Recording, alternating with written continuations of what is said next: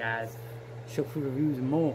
We announcing something that's gonna run this until the end of the year, and each week you're gonna vote on your YouTube, and I'm not in it, so don't worry. don't worry.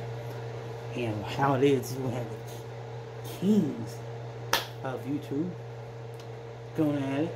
I don't know how many, probably, I don't know. I select same few for kings, and you'll have the queens in you too.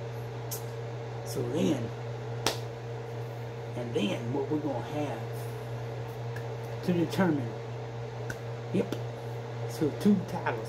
I don't know if I'm going to do a prize yet, but tell me if I should. That'd be neat. To the end of the year, for the January 1st, we know who wins. So uh, each week we can go in there and put two matchups. We got until the end of the week, and, I announce who wins in a video. So here we go. You ready to be voting? Because the first one will not be on a uh, thing. I'm not doing a video. First one, the first two, or four, two, one on one. This is a one on one.